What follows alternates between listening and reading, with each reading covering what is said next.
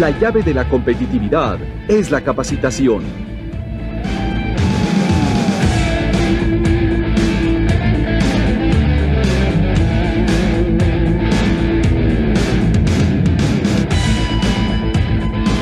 Hoy, la competitividad es la clave del éxito.